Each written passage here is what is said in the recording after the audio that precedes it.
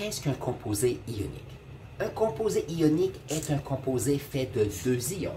On a ici le mot ion. Et c'est un fait d'un ion positif et un ion négatif. Par exemple, le chlorure de sodium, avec ici le sodium positif et le chlore qui est négatif.